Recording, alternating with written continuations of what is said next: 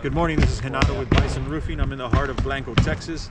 If you look to your right, you'll see uh, we're replacing the roof system. We have synthetic underlayment. We have ice and water shield in the valleys.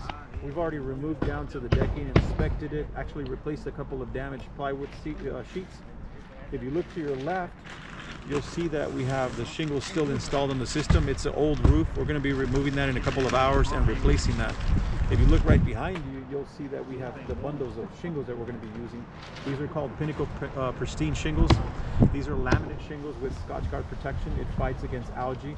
If you look at the old roof system on your left again, um, you'll see that there's algae on all that roof because of the heat and the moisture. Here uh, in Texas, we get a lot of heat, so we use these Pinnacle Pristine shingles that have the Scotchgard protection that fights against the algae. Stay tuned uh, for uh, more projects to come.